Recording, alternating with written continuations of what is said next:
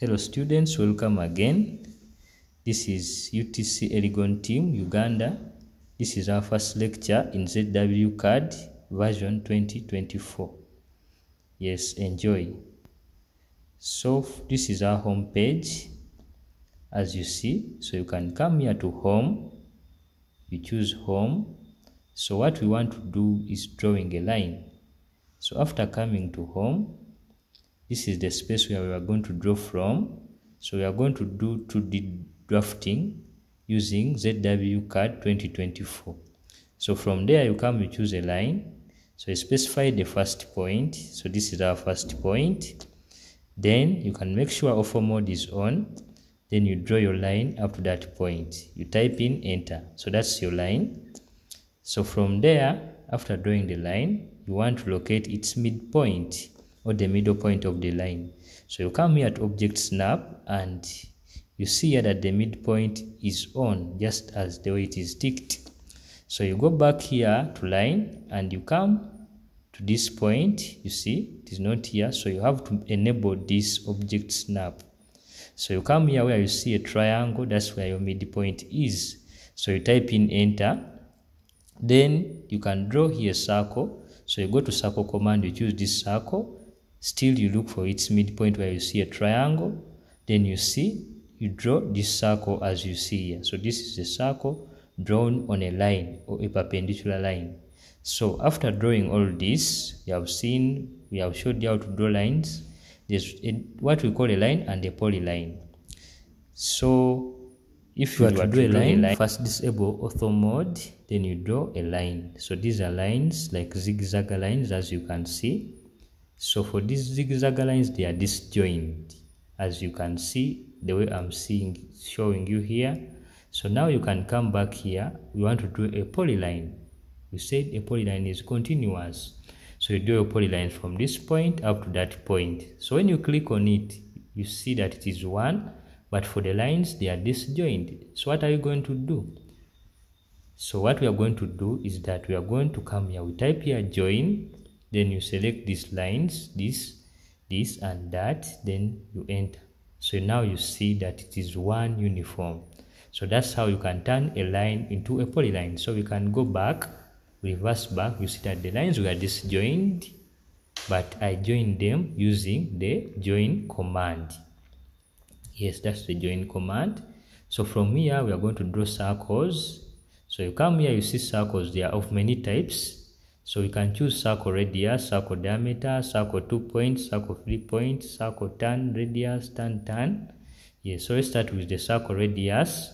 So you come here, you draw your circle radius, you come down, you draw your circle diameter, you come here down. So you see that all that white thing indicates the radius. So you can type there 300 then enter.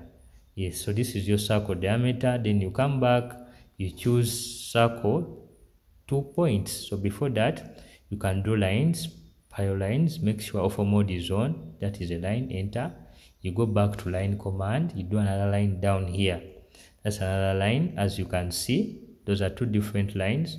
Then you come here, circle, two points. You choose this point and that point down. So you have come up with a circle touching two points, as its name states. Now the next thing is what we call circle three points. So from there you come, you draw your lines. This is your line up to that point. You take it down. You can switch off ortho mode.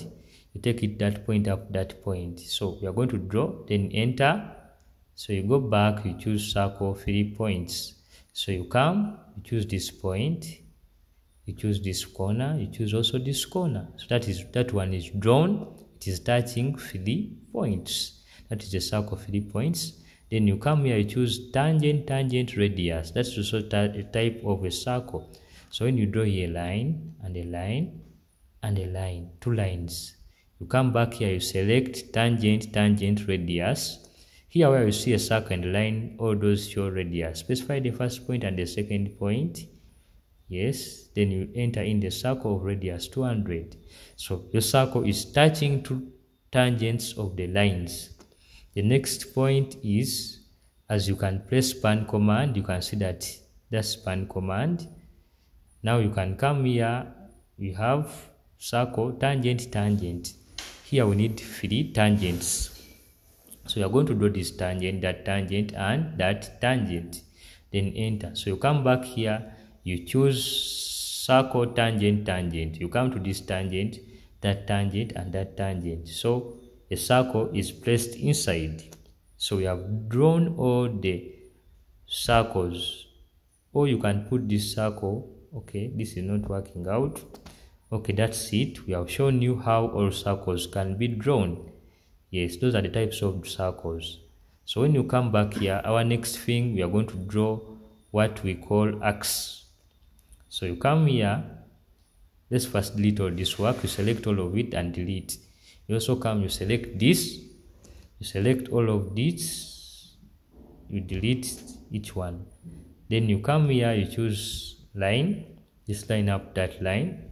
We are still on x so you can draw here your line. Then you enter you come back you select a line. You draw here your line you put it there. So now we want to draw an arc touching all these lines.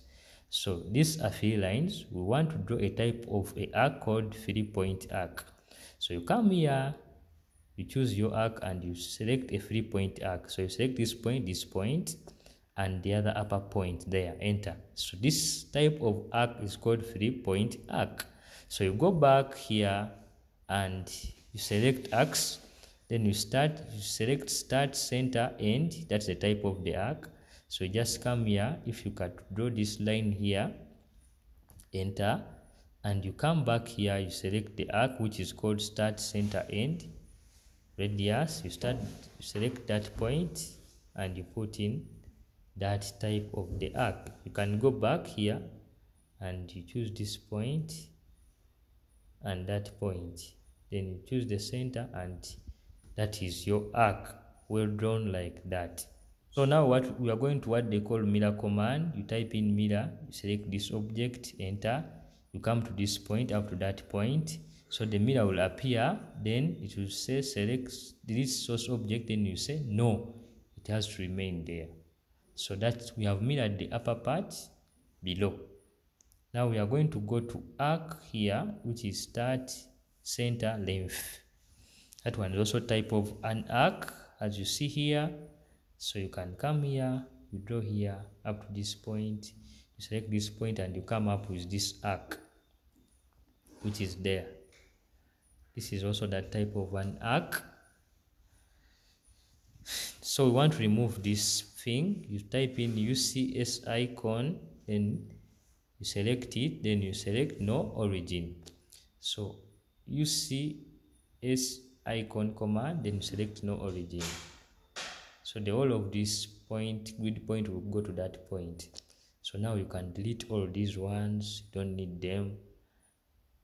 Yes. So our next point is we are going to come and what we want to draw is that as you see here these are ellipses. ellipses an ellipse is like an egg. So these are the type of ellipses we have. You can do this one and you select the radius which is 200 you go back draw this type of ellipse. Then you choose axis end that one will also be a type of an ellipse. Enter. As you can see that is an ellipse. There are three types of ellipses you can draw. There's one which, which you call the elliptical x end axis ellipse which you can draw here like that. All these are ellipses and they are needed. So you can delete them and we continue with other things. Now what we are going to go for is we are going to come here. I'm going to show you how they draw what we call a polygon. What is a polygon? So majorly this polygon before you draw it you have to state the number of sides it has. So you can type in here, but mostly there can be inscribed inside a circle or circumscribed outside a circle. So first you can come here, you choose a circle, you choose a circle with some radius, then you come here to polygons as you see, you choose a polygon. So for this case, I want to draw a polygon which is eight-sided. So I come here to this point, then I circumscribe it in, inscribe it in. So this is an eight-sided polygon and it is inside the circle. It is inscribed inside the circle. So I can type in pan, I press my work there. Then I can come here to copy command. I choose this circle here, enter. That is the copy edge command. I select this center, then I copy it there. Then I come here to polygon still. So I'm going to circumscribe this polygon outside the circle. That is what we call circumscribing, putting something outside the circle. So I can say circumscribe. Then I move it until when it only touches the circle from outside. That is what we call circumscribing. This is inscribing. The other one is circumscribing. I hope guys are enjoying. We still remain the UTC Elgon team from Uganda presenting you this work. ZW CAD. Yes. Then you delete that all work. So now you can come here and you choose rectangle. So we are going to do rectangles. So it asks for the length down. So you can put here your length. Maybe it's 200. Then you put there 100. So you come up with something like that. Then you zoom in. That is length by width. If Length is 200, height is 100. So this is your rectangle. Now what we are going to go for is what we call the offset command. You select the offset distance which is 10, then you offset inside to come up with that. That's what we call the offset command. It can even work on circles. Come, you choose your circle radius. You draw your circle as we have been drawing circles. Then you come here to offset command. Then you select the distance you want to offset it. That is a distance of 10. Then you offset it outside for a distance of 10. You keep on offsetting.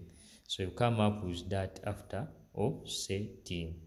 So when you zoom in, zoom out, you have something. From right. there, we are going to delete all this work. So you select all of it, you select this circle, and you delete that. So from there, now what we are going for is what we call, uh, we are going to go for trim command. So for trim command works majorly where you're having lines coming through and you don't need them so you can trim them off. How does it work? So you see me here i'm drawing something. I'm just free, free sketching it. I just want to practice show you how to practice trim command. How you can take off all the lines in case you have drawn them and they are extruding. So you select all the work which you have drawn as i've selected here. Then I type in trim enter. Then I start trimming off things which I don't want. As you see so all this thing is getting off. So that is the trim command. So this is how trim command works. After selecting you come and select the parts which you want to take off. Like that you delete that one was not needed. So I've trimmed off the parts which I didn't want. So I can delete all this work. So members we have used all the commands. We have seen how they work. This was our first lecture. Uh, so now there's an assignment some work we are going to do here. So as you can see here this is the work. So you can start with the line. You come here as the work is here as i'm pointing to it you can come here and you choose your line. So this is the line the baseline from this side. So this baseline is of a distance 800 millimeters. So you can also take it up through a distance of 800 millimeters. As you see here so you can type pan command and you press your work here in the middle. Then you come here and you choose ucs icon command and you choose no origin. So that command will go there. So you come here you draw this line up. That is a distance of 800 millimeters. You also take this line that side for a distance of 800 millimeters. So now we are going to draw diagonals. You draw the you are seeing that there's a diagonal here in the middle. So you draw your diagonal here. You also come here. You do a diagonal from this point up to that point. Enter now there's what we call the offset command as we talked about. So type in offset command, you come to this point, yes. So you want to offset this point you get it. Yes you type in offset command as you see. So this is the offset command then after typing in offset command you specify the distance which is 100 you select this line you move it down. You also select this line you move it down for a distance of 100 you select it you move it for a distance of 100 you also select it and you move it through a distance of 100 yes so you still select this line and you move it up for a distance of 100 then enter so our next thing we are going to go for trim command so you select all this work enter. So after selecting all this work you type trim enter. So you trim this part off trim this part off trim this trim this trim this trim this trim this trim this trim this off trim this off this off this off then you can also trim these inner lines off. As you see you trim trim so it's not getting off. Just enter then you come you delete delete delete these lines off. Work here. So from here you are seeing that there is a triangle. It is sort of a triangle sort of a square inside. So you come here you draw this line make sure ortho mode is on. You draw it down. Direct it down. As you see from there now this is our line so you come here you draw this line you enclose this line there enter. Then you zoom in just hold on your mouse and you zoom it in.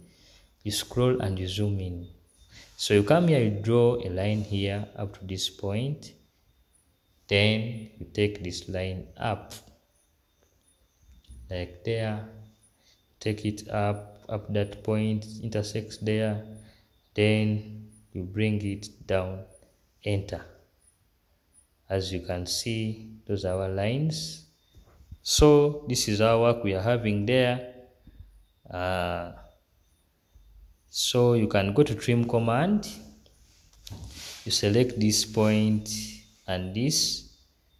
Then you trim this part. You select it and gets off uh, so you see that this line did come out well. So you can go back to line command and do a line which is intersecting well. So you come here you do a line down you take it down. You also come here you draw a line up. So fellow learners thank you for being patient with us. And thank you for watching this video. Uh, we thank uh, the Chinese government for this special training which we have received here in Uganda and other African countries. Uh, we thank our ministries which responded to this special program to be taught to us. We also thank in a special way the administration of UTC Elgon, our principal, uh, we also thank our lecturer, Mr. Namomo Elia, for the work well done. We also thank our trainer who has taught us well today, that is Mr. Wang Jun. Thank you for the work well done. So this is what we have been able to come up with. May the Almighty God bless you.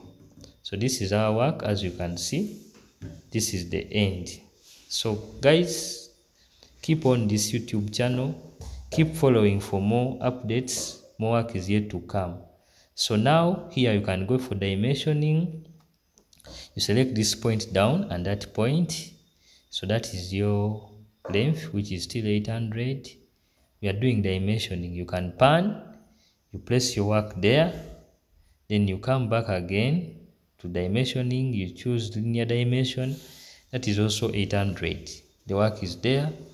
Then you also come back here to that point then you choose also this linear dimension which is 800 so from there you come here this is align dimensioning or linear dimension. You start with linear dimension dimension this other rectangle. In you get these dimensions. You also come here this point and you choose linear dimension align dimensions. So you're going to, from this point to point and this get this dimension which is 200 millimeters as you can see there. Thank you very much for your patience. Thank you for following up this video up the end